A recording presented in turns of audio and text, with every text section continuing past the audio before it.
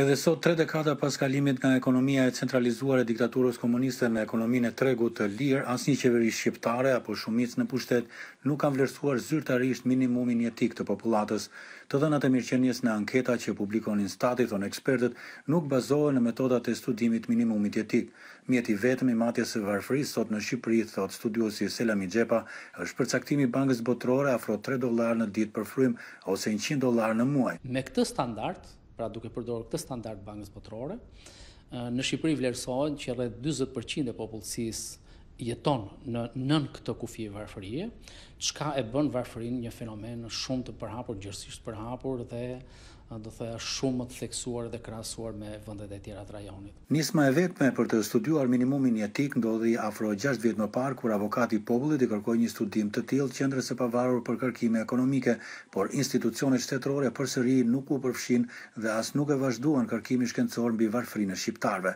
Ai studim vlerësoi se minimumi jetik duhet të ishte njëqind e gjashtëdhjetë dollarë në muaj për frymë, ku hyjnë shporta ushqimore dhe konsumi jetik, pa përfshirë taksat. Paga minimale e referencës në rastin konkret duhet të ishte të paktën dyfishi i kësaj shume pa taksat. Do thotë që një pagë prej tridhjetë e dy mijë lekësh është diçka krejt normale për të garantuar minimumin e ekzistencës për një fashë të shoqërisë, për një grup të shoqërisë që nuk është i vogël dhe për fat të keq nën efektet e krizës dhe të pandemisë ka tendencë të rritet. Shqipëria shpenzon aktualisht më pak se dhjetë për qind të prodhimit brendshëm bruto për këto skema të mbështetjes varfërisë. Nëse qeveria do të njihte minimumin jetik, atëherë ajo duhej të ndante shuma më të mëdha nga buxheti për të kompensuar këtë varfëri ose për të mbuluar programin e të ardhurave të garantuara siç quhen kudo në botë. Edhe pse kanë anëtarë të punësuar me paga të ulëta, shumica dërmuese e familjeve shqiptare, thonë studiuesit, janë në këtë nivel minimal të jetesës. Do të thotë që të gjithë familjet shqiptare do të ishin, le të themi, pretenduese të marrjes së kompensimeve të plotësimit të ardhurave nga buxheti i shtetit. Dhe fakti që ne jemi në këtë gjendje të ekonomisë, këtë e bën të pamundur shtetin dhe ndoshta kjo është një nga arsyet kryesore pse nuk kemi një matje zyrtare të të treguesit të varfërisë, të varfërisë në vend. minimumit jetik pra. Problem thelbësor mbetet që pjesa më e madhe e punësimit në Shqipëri, si bujqësia, industria e përpunimit dhe shërbimet, dy të tretat e popullatës janë të punësuara në këtë sektor. Pagat i kanë afro treqind dollarë për person, pra një nivel i ulët të ardhurash edhe kjo tregon që edhe varfëria është një dukuri masive dhe e përhapur në vend.